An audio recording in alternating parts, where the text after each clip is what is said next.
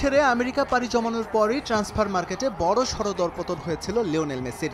MLS এর মান, লিওর বয়স সবকিছু মিলিয়ে তার মার্কেট ভ্যালু কমে যাওয়াটা ছিল স্বাভাবিক। তবে এবার এমএলএস এ থাকা অবস্থাতেই আবারও দাম পড়ল বিশ্বকাপ জয়ী অধিনায়কের। ট্রান্সফার মার্কেট বলছে লিওনেল মেসির বর্তমান ভ্যালু ত্রিশ মিলিয়ন ইউরো, যা সবশেষ হালনাগাদ হয়েছে পঁচিশ মার্চ। গেল নভেম্বরেও তার মার্কেট ভ্যালু ছিল পঁয়ত্রিশ মিলিয়ন ইউরো, সেই হিসেবে লিওর মূল্যমান কমেছে পাঁচ মিলিয়ন।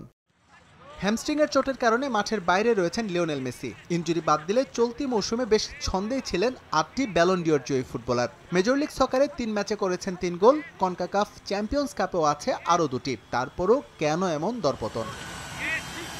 বিশ্লেষকরা মনে করছেন মেসির ট্রান্সফার রেট কমার প্রধান কারণ হচ্ছে তার ইঞ্জুরি। ফর্মে থাকলেও ইন্টার মায়ামির হয়ে শেষ ম্যাচগুলো খেলতে পারেননি তিনি। ছিলেন না আর্জেন্টিনার হয়ে এল সালভাদর এবং কোস্টারিকার বিপক্ষে ম্যাচেও। তার ভ্যালু কমার পেছনে এই বিষয়টিকে বড় করে দেখা হচ্ছে। এছাড়াও বিবেচনায় আনা হচ্ছে মেসির বর্তমান বয়স।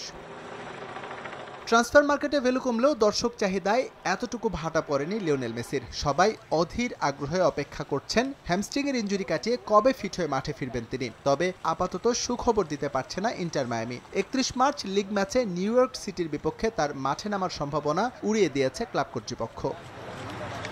তবে ইন্টার মায়ামি খুব করে চাইছে কনকাকাফ চ্যাম্পিয়ন্স কাপের কোয়ার্টার ফাইনালে মন্টেনের বিপক্ষে তাকে খেলাতে। কিন্তু শঙ্কার খবর হলো, হ্যামস্ট্রিংয়ের চোট কাটিয়ে লিওর রিকভারি সেশনে থাকলেও এখনও অনুশীলন করার মতো ফিটনেস ফিরে পাননি।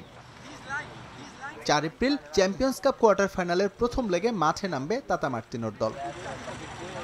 এস এম ইকবাল, সময় সংবাদ।